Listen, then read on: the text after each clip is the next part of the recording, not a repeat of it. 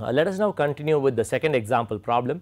Here we will be performing material and energy balances simultaneously. As I had already said, if you were to perform only material balances and use only equations from material balance, you would end up with a degree of freedom which is greater than 0, which means you would not be able to solve the system. So, however, if you actually use the energy balance equation uh, along with the material balance equations, you would be able to solve this problem. Let us now look at the uh, problem statement. The ethanol dehydrogenation reaction is carried out with the feed entering at 300 degrees Celsius. Ethanol gives acetaldehyde and hydrogen. So, the feed contains 90 mole percent ethanol and the balance is acetaldehyde and this enters the reactor at a rate of 150 moles per second. To keep the temperature from dropping too much and thereby decreasing the reaction rate to an unacceptably low level, heat is transferred to the reactor. When the heat addition uh, rate is 2440 kilowatts, the outlet temperature is 253 degrees Celsius. Calculate the fractional conversion of ethanol achieved in the reactor. So, if you were to look at this problem and compare it with the previous problem which we solved, in the previous problem we were given the conversion, however, we were not given the exit temperature.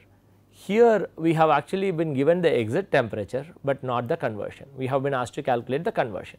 So, we can actually do this, we are trying to uh, get this value. For this we will actually try to perform the energy balance and the material balance simultaneously.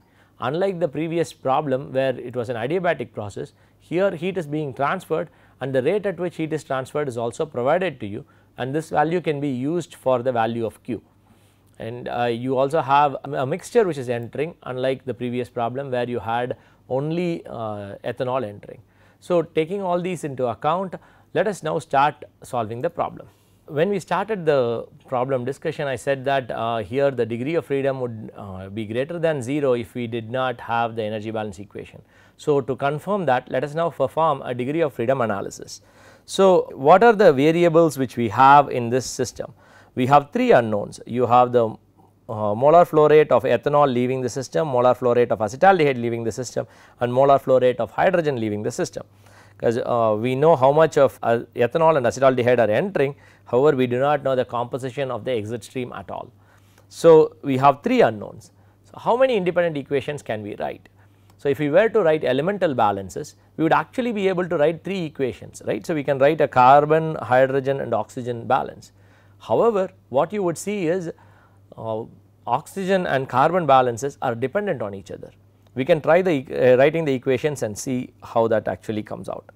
So, the carbon balance for this system would be you have uh, 2 atoms of carbon in every molecule of ethanol.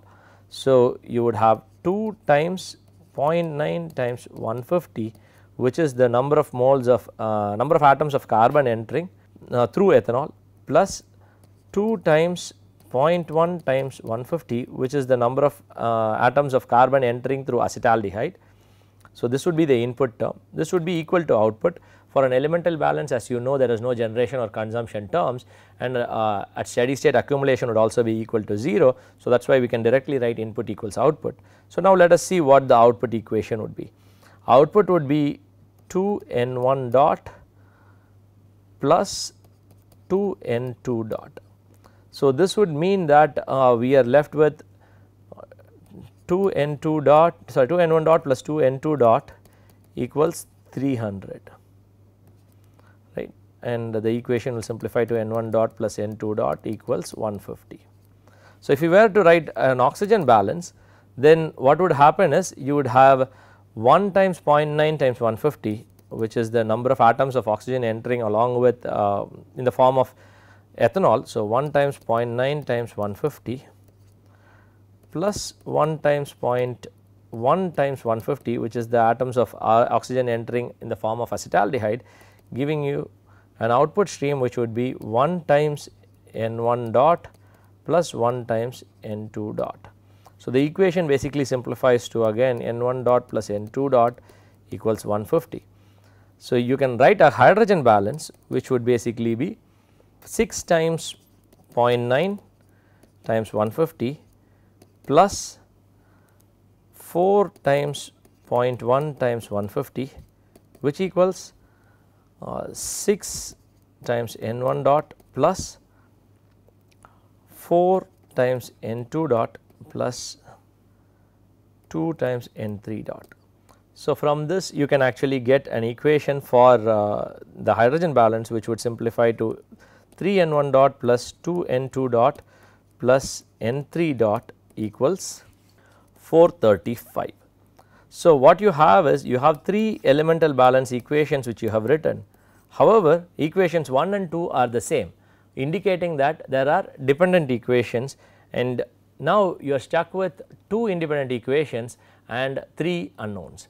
So, if you were to perform the degree of freedom analysis, degree of freedom analysis would basically say that you have 3 unknowns and 2 material balance equations. So, do you have anything else you can use? Yes, here we can use the energy balance. So, we can actually get one energy balance equation and once we use that you actually have 3 equations and the degree of freedom now becomes 0. So, with 0 degrees of freedom we will be able to solve this system. So, uh, for this we need to write the energy balance equation. So, how do we go about preparing the energy balance equation? First thing is to identify what system it is. So, this is an open system you have material coming in and leaving. So, you would start with the open system energy balance equation which is q dot minus ws dot equals delta h dot plus delta ek dot plus delta ep dot.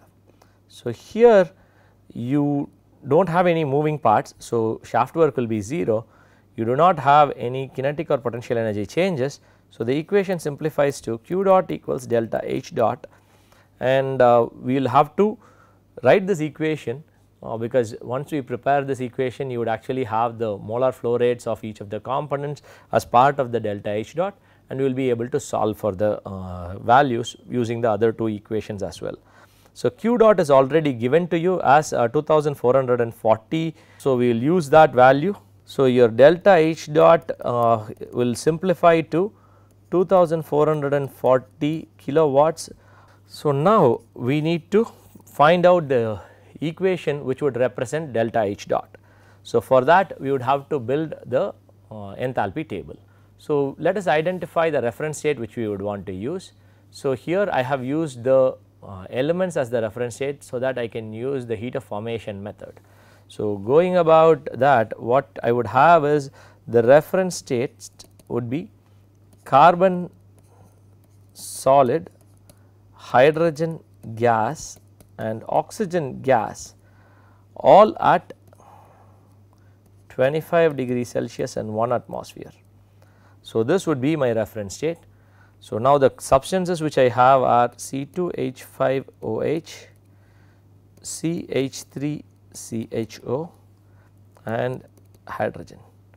So, I would have N in dot H cap in, N out dot and H cap out. So, uh, what is the molar flow rate of ethanol in the system? So, you have 150 moles per second of the mixture coming in 0.9 of that is the mole fraction of ethanol in that mixture. So, it will be 0.9 times 150 giving you 135. So, the remaining is uh, acetaldehyde. So, 15 moles of acetaldehyde there is no hydrogen entering. So, in the exit stream you have N1 dot, N2 dot and N3 dot for each of the components which are leaving the system we now need to identify the enthalpies for these components. So, for uh, ethanol you would again you would have an enthalpy which needs to be calculated we will call that H1 cap and this would be H2 cap you do not have to worry about the enthalpy of hydrogen gas uh, for the inlet stream. You would have H3 cap, H4 cap and H5 cap all needs to be identified. Uh, so, now let us see how we would go about calculating each of these enthalpies. So, your H1 cap is basically the process where carbon, hydrogen and oxygen in their native states at 25 degree Celsius and 1 atmosphere forms C2H5OH at 300 degree Celsius. So, for uh, this for take to take this into consideration we have to look at two steps. The first would be the formation of ethanol and the second would be the heating of ethanol from 25 to 100 300 degrees Celsius. So, you have this go, uh, going to ethanol at 25 degrees Celsius and then going to ethanol at 300 degrees Celsius.